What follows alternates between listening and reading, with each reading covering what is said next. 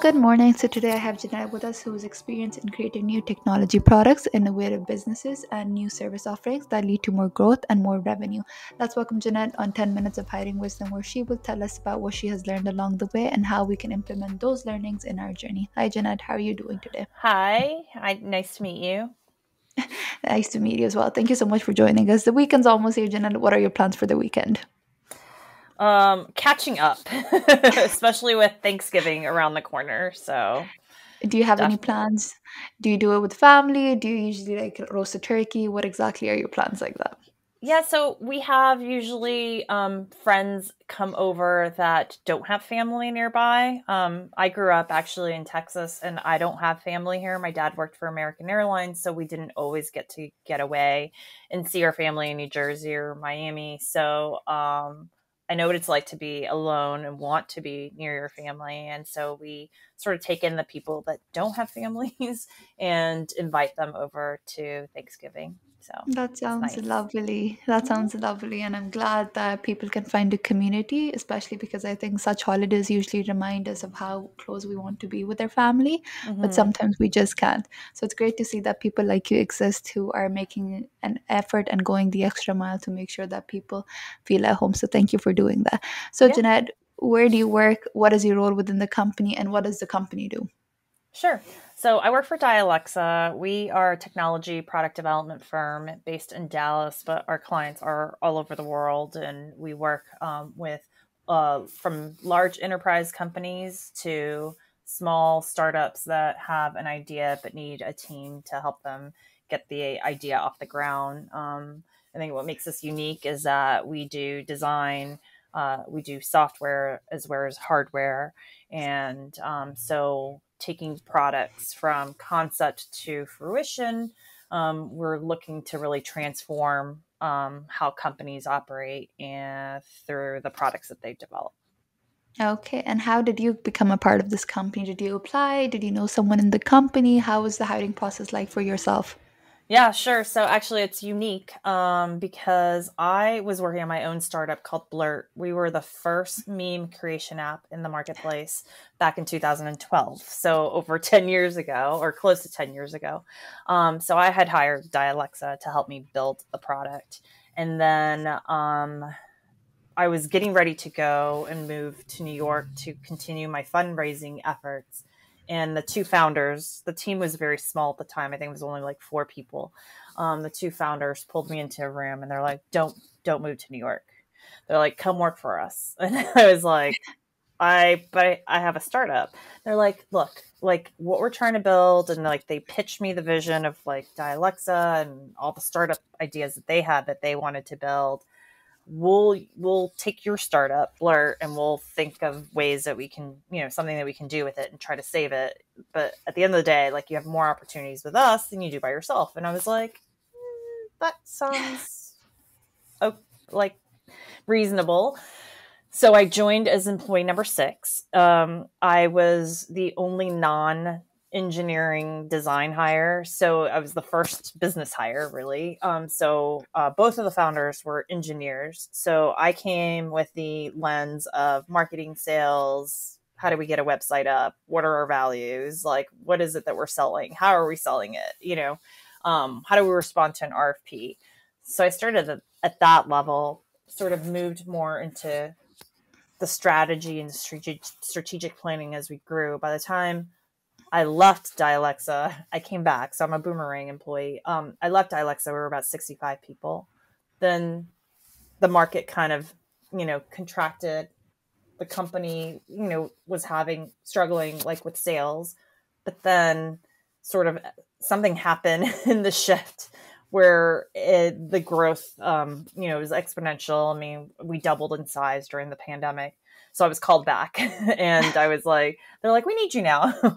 um, so, uh, so I left five years ago and then came back. So it's been 10 years that I've been with them, you know, either as a client or as an employee, then left for five years and then came back. So it's been wow. probably not the normal career path for a lot of people, but, um, it's nice to be able to sort of do what I had always envisioned myself doing for the firm. I think where we were when I left, it was like the big vision, right? Like I wanted to work on the big ideas. And they were like, how do we make payroll? Like that's what we need. Like we need somebody to do sales and like make payroll. And I was like, oh, I don't think that that's what I want to do anymore. So I left, but then being able to come back and do that thing that I wanted to do. Um, so, which, you know, I focus on strategy. And so my whole thing is like focusing on new services, new, new opportunities, new products, um, and working on our frameworks and making sure that we can be competitive in the marketplace. So, every day is a challenge and every day my brain feels like it has way too many tabs open i think for me i'm curious because you initially hired them to do some work for you so you must have left a really good impression on them. So what was your interaction like? For example a lot of us interact with recruiters a lot of inter- us interact with hiring managers. How did you manage to leave such a good impression on them them that would eventually lead for them to offer you a job? What was the interaction like?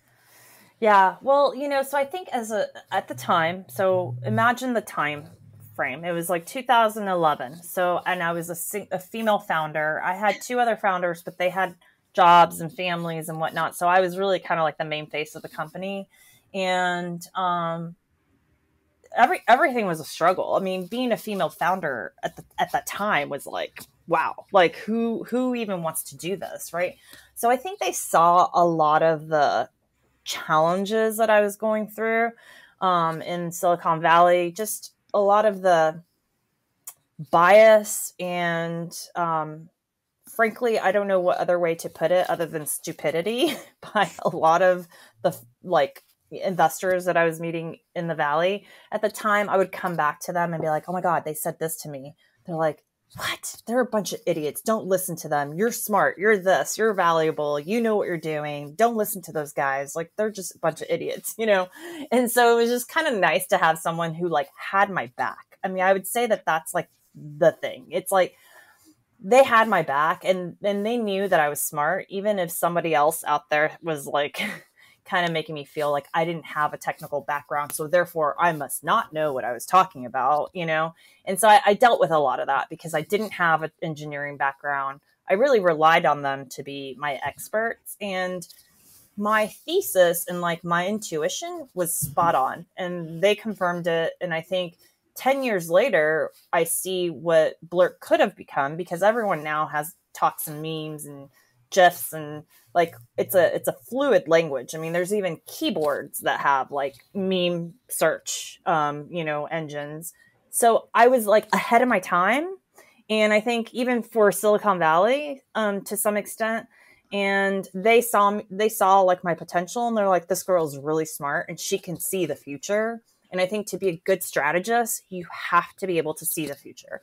And you have to deal with people who are like, no, that's not the way it is, or that's not the way it's going to work. But be able to see beyond that and go even further and then be right in the end right? And so i think um, we had a lot of different you know we were in iot in 2012 before iot was really even a thing. And so we were making a lot of assumptions you know dialect at dialexa about the iot business then again we were too early because i mean now now people know what iot is back then it was kind of still you know kind of a new term from a consumer standpoint. So it's just nice to be around really smart people that believe in you, honestly. And I think that's the hardest thing about jobs in general. You can find a job that meets your criteria and you like what you're working on and you like your boss and, and all those things. But I think in order to really have a career and like move ahead, and it's part of the reason why I came back to Dialexa, is you want people to like be able to bet on you and believe in you and like want to see you succeed. And I think that is the hardest thing in the world to find in a job. And it's probably expectations to, to set expectations to say that's what I want to find is probably really difficult. But I do think that, you know, having been a founder, having gone through the trenches with this team, coming out from a lot of different challenges that we had, stepping away and then coming back together has been, I think, a really awesome journey. Okay. I mean, I think they did believe in you because they definitely saw that you were capable of doing something. And Yeah. being a female entrepreneur at that time specifically, time specifically, I mean, women are still struggling as much as we like to admit that the w- ground is leveled. It's not. Women are still struggling. Women are still, even though women are as capable, they still tend to not be offered same positions with the same pay. So Yeah. definitely during that time, I can definitely see how that would have taken Yeah. part in them giving you and offering you a position. So thank you for sharing that. Last question for you would be what is something that you've learned along the way that would be helpful to people that are seeking jobs or who are struggling to get a position Sure. themselves? So you know, it's funny. Um, I went I went to a lot of schooling, and you know, a lot of people think, oh, well, I, you know, I want to I want to go to these good schools to learn. But I want to say that you know, you really like any type of school, any type of program. It's all about the network, right? And I think early on it was like, you know, I have this massive network, but I don't really put it to use. And I think um, something that I read in the last year that I thought was really funny the word work is a network, which means you have to work it. it doesn't just mm, like magically happen. Just because you graduated from the same school doesn't mean that anyone owes you a conversation, especially if you haven't talked to them in 10, 15 years, right? So I think um, being in, don't talk to people just when you're looking for a job. Be talking to people always and be curious and interested in what they're doing and figure out how you can help them because two years or three years down the road, when you are looking for a job or you're looking to change companies or you want to make a connection somewhere, having those relationships be more genuine and more up to date than I'm only going to talk to you when I need something from you, I think is a better way to approach business relationships as a whole. No, no, I love that. I think we definitely need to stop using people as a means to an Mm-hmm. end because at the end of the day, we need to realize that okay, someone might not be as useful to us, but they're still from come from a different background, different culture, and there's so many so much that people can offer even by a simple conversation. So I think taking use of that and understanding how people can provide value to you is something that's so important. So thank you for sharing that. But other than that, Jenna, thank you so much for coming on the show. Our time is up. It was an absolute pleasure having you as a guest and learning about you and learning about your experience as a women entrepreneur back in the day and actually now working for a company who value you for your ideas and for your courage. Thank you Yes, so much. thank you. And also, I just want to say we are hiring, we're growing. So if you go to dialexa.com and go to, I think it's careers, um, you will find we're looking for engineers and uh, designers. So Okay, perfect. You heard it from her. So definitely, if you're interested, you can re- reach out to me and I can definitely help you get in touch with Okay, her. Thank you so thank much. you. Okay.